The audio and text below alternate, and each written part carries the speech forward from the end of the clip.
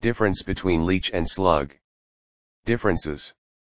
Leech belongs to Annelida, phylum, and Clitellata, class. Slug belongs to Mollusca, phylum, and Gastropoda, class. Leeches are relatives of earthworms, and mostly feed upon the blood of other creatures. Slugs belong to mollusks, which is why their structure resembles that of snails, but lacks the outer shell or a tough covering. Leeches are of three types, freshwater, terrestrial and marine. Generally, there are two types of slugs, sea slugs, freshwater slugs, water slugs, and land gastropods, semi-slugs. Leeches live on living matter or blood, by sucking. Slugs live on plants and their parts, on land and sea.